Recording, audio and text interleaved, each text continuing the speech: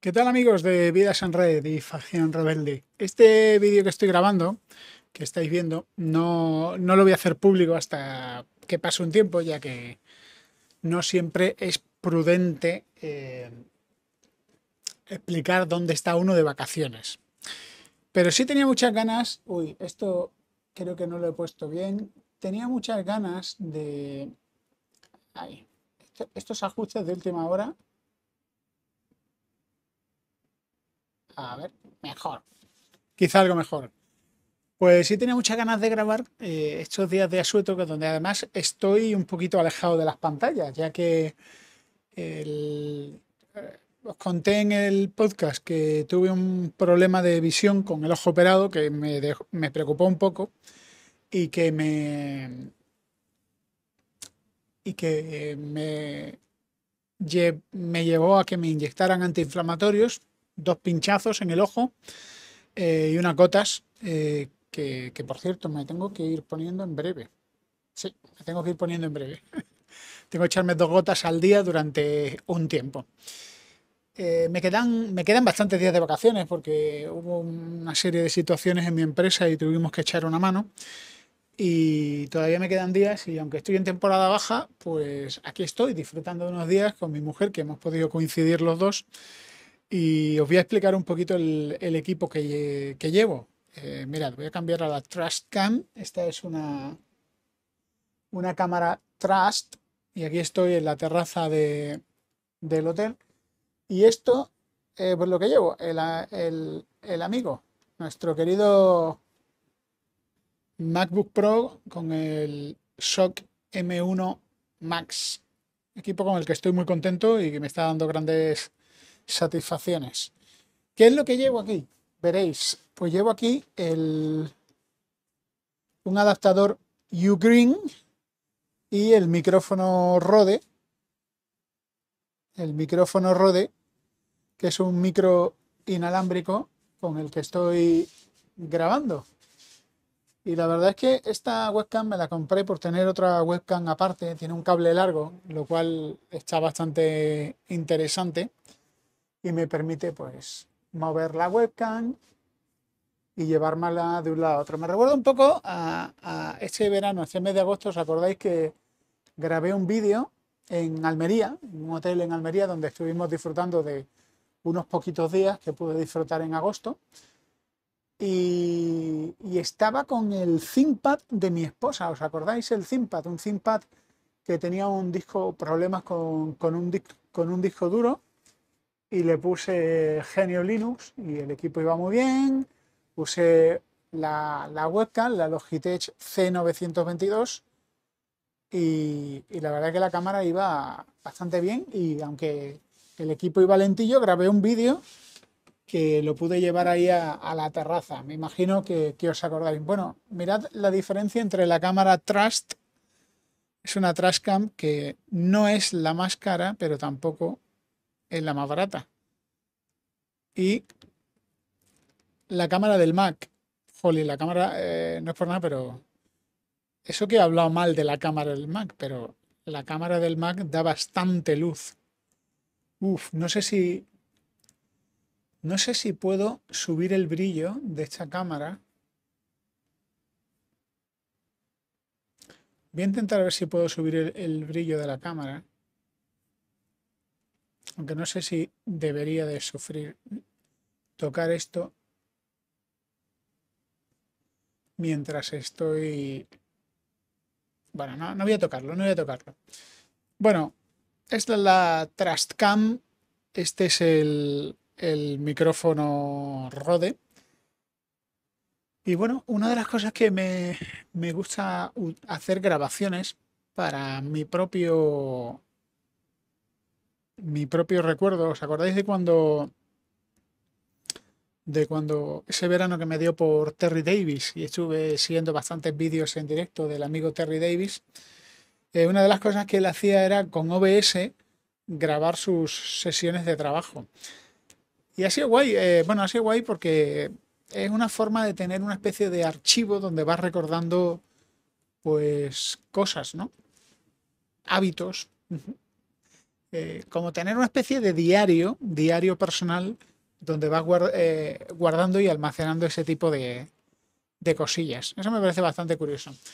El, el, MacBook Pro, sinceramente, estoy muy contento con el ThinkPad, pero ya lo dije en el pasado, la superioridad de los M1, M2, M3 es absoluta. Y aunque Intel está haciendo buen trabajo, por ejemplo, hay unos procesadores que me parecen que están realmente bien hechos, que son los Intel Gold, que es el procesador que tenemos en la Surface Go. Por cierto, amigo Rafa, que sé que tienes ahí a, un nuevo integrante en tu familia, la Surface Go 3, qué gran equipo. La Surface Go es un equipo que está, bueno, Microsoft Surface está fabricando equipos que están equilibrados, bien testeados, bien optimizados. Y la serie Surface, que se trata de equipos de entrada, mm, son equipos ultra portátiles, son equipos con una potencia bastante adecuada. La Surface Go 1 la vendía un querido seguidor de la isla que le está dando un uso bastante interesante, lo está usando para producción agrícola. Es decir, tiene software específico de producción agrícola él trabaja en una pequeña explotación, bueno, pequeña, grande, no sé cómo es de grande, una explotación agrícola y él tiene un software de Windows con el cual, digamos que gestiona la gestión agrícola y para él la Surface Go pues ha sido eh, esencial a la hora de, de integrar la tecnología en su trabajo. Y eso me parece genial. Por cierto, estoy pensando que algunos de los que estéis escuchando esto, quizás estéis escuchando desde el podcast, porque no sé si el sonido eh, va a funcionar bien o no. Voy a moverme, voy a moverme por aquí. Y esto es lo bueno del micrófono Rode, que es que te puedes ir a un lado y a otro y se supone que, el audio lo va, lo va escuchando bien. De hecho, lo estoy viendo. Lo estoy viendo y va funcionando bastante bien.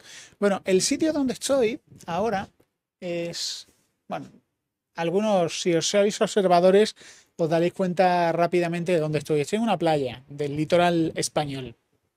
Dejémoslo ahí. El, el wifi del hotel es realmente interesante, realmente bueno. Eh, por ahí tengo un vídeo, que seguramente subo un vídeo, porque he estado grabando pequeños clips de vídeo durante estas vacaciones y al final, pues he creado una carpeta en mi teléfono Samsung y al final lo que voy a hacer es eh, eh, editarlo todo. Son vídeos donde salgo hablando, salgo viendo varias cosas.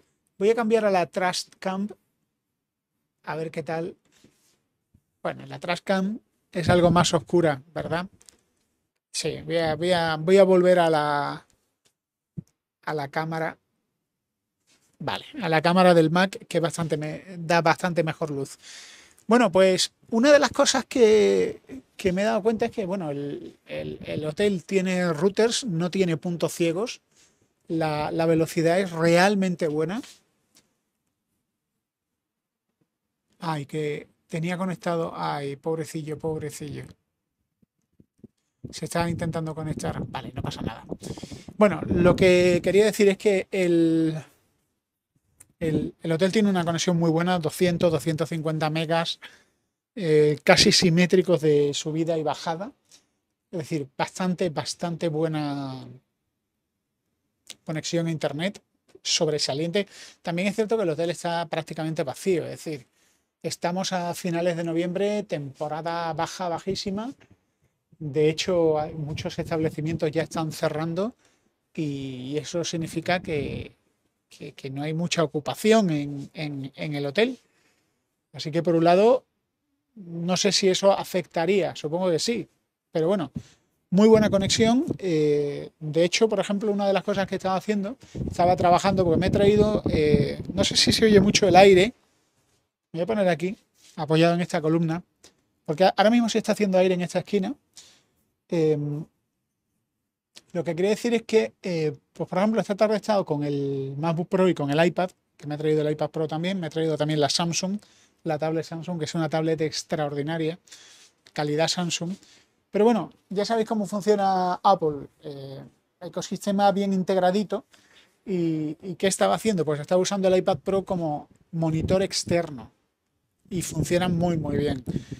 El único problema que tenía es que los, los auriculares que utilizo, los NC35, me estaban, se me estaba entrecortando. Yo pensaba que era porque estaba viendo la película Hackers 2, película en blanco y negro, libro de derechos de autor, pues estaba viendo la película Hackers 2 en, eh,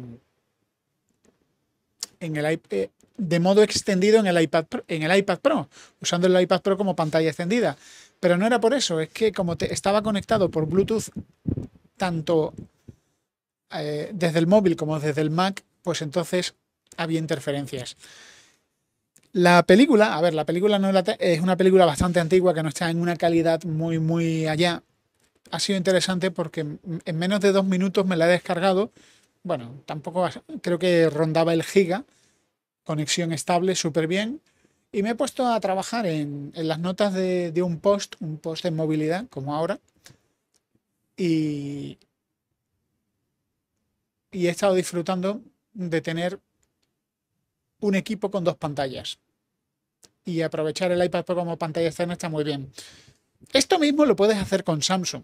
Es decir, las tablets Samsung son muy compatibles con Windows y puedes utilizar la tablet Samsung como monitor externo.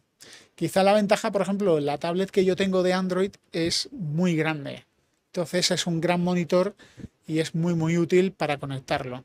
Sencillo de configurar, un poquito más complicado que, que Mac OS, pero, pero muy interesante. Me voy a cambiar de sitio porque está haciendo bastante, bastante aire. Quizá aquí hace algo menos de aire. Eh, realmente lo que estoy usando sobre todo ahora mismo en estos días es el teléfono y el iPad. El iPad para, para todo, incluso para hacer algunos vídeos. La otra cosa que, he visto es, eh, lo voy a poner aquí, voy a mover el portátil, no sé si lo voy a fastidiar, espero que no, y os voy a enseñar una imagen de la playa. ¿eh? Perdonad el, el, ruido, menos mal que le he metido un filtro con OBS, pero voy a cambiar a la Trust Cam, que se puede mover, y me voy a mover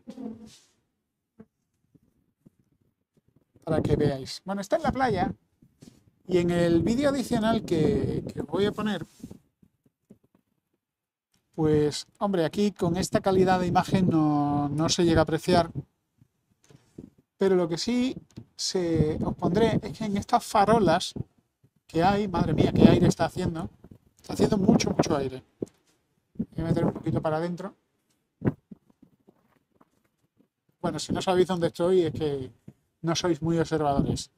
Pues en estas farolas el ayuntamiento ha puesto repetidores Wi-Fi. Está muy bien. De forma que hay, una, eh, hay un wifi gratuito a lo largo de toda la playa. Sería interesante ver qué tal funciona con la playa llena de gente. Obviamente el ancho de banda es el ancho de banda. Pero bueno, yo estuve probando la conexión y la conexión era bastante buena, era un 20 megas. Y bueno, tener wifi en la playa está bien. Hoy en día ya, la verdad es que hace 20 años, ¿os acordáis de la época de FON?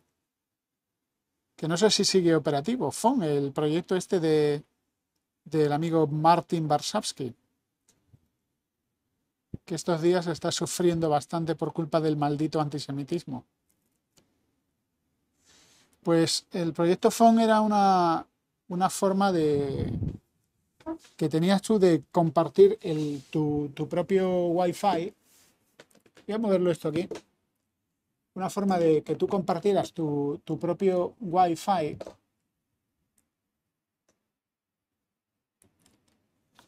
de forma que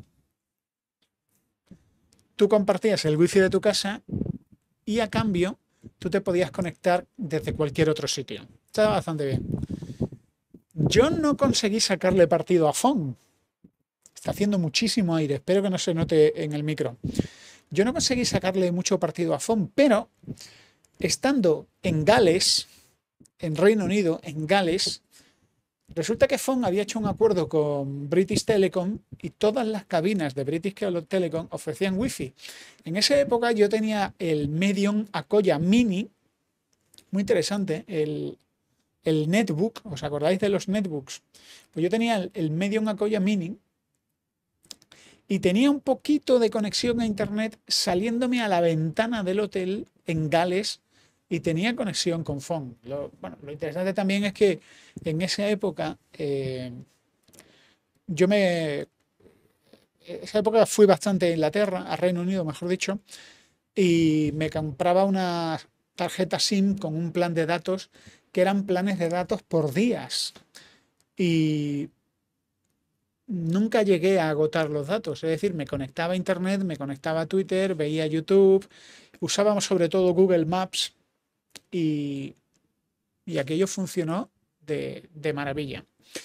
Muy bien, os dejo aquí la cámara, se ve mi reflejo, este soy yo, la cámara captando un poco lo que veo desde donde estoy. Emisión en falso directo de Vidas en Red para todos vosotros. Bueno, pues eh, wifi por la playa, wifi en el hotel y al final no estoy utilizando para nada mi plan de datos. Aquí traigo mi, teléfono, mi S22 Ultra, que sigue con una serie de píxeles muertos en el centro de la pantalla.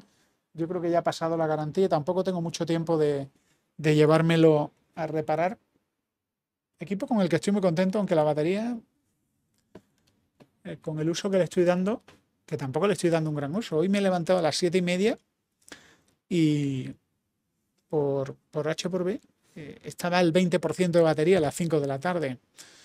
Es decir, vale que lo uso, pero madre mía, cómo vuela la batería. Eh, otra cosa que, quiero comentaros de este, de este viaje que, tengo aquí, que estoy haciendo aquí, bueno, viaje, eh, días de vacaciones, es que se ve que con la crisis migratoria que hubo en Canarias, Canarias sabéis que, ha habido una serie de desembarcos de, inmigrantes que han sido repartidos por la península. Y luego, pues, ellos desaparecen, porque de hecho, quiero decir, cualquier persona que entra en un país sin papeles y de forma ilegal debería de estar más o menos controlada. Bueno, pues aquí donde estoy eh, hay un grupo de chavales subsaharianos, es decir, chavales jóvenes, todos muy jóvenes, 20 años, 20 y pocos años, eh, grandes grupos que están dando vueltas por aquí. Los ves dando vueltas por el paseo marítimo, no se meten en líos con nadie, es decir, los chavales van a lo suyo, están con sus teléfonos móviles, hay, dos que siempre veo haciendo deporte, salen a correr juntos. Bueno, chicos que, que están por ahí sueltos. Eh, no sé cuál es su estado. Yo, mi conjetura, y es, una, es únicamente una conjetura, es que son de estos chavales que han traído de Canarias. Pero están totalmente libres. Es decir, si los chavales quieren montarse en un autobús e irse a Francia, supongo que pueden hacerlo si no les pillan. Porque no están controlados. Así que están por aquí y es un tema curioso. No he hablado con nadie de aquí, pero tengo ganas de hablar con gente del personal del hotel y que me expliquen cuál es la situación. A lo mejor son menores no acompañados que están en un centro de menores. Hay una pista de baloncesto aquí detrás que está llena de ellos ahí jugando y haciendo deporte, pero no se están metiendo en líos. Bueno, pues amigos, esto es tecnología, estoy grabando con OBS, aquí podéis ver OBS, que lo tengo aquí, grabando, vidas en red. Y ya, mira, sí, voy a hacer, un test de velocidad para que veáis eh,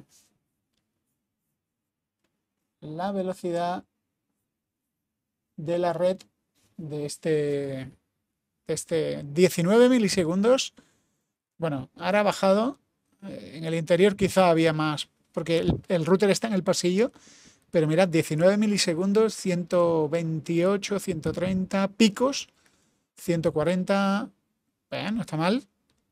Y de subida rápidamente ha subido casi a los 100, pero se mantiene de forma bastante estable entre los 84 y los 85. Es decir, no está nada, nada, nada mal, ¿eh? No está nada mal. Pues este es el resultado del, del test, ¿eh? Interesante.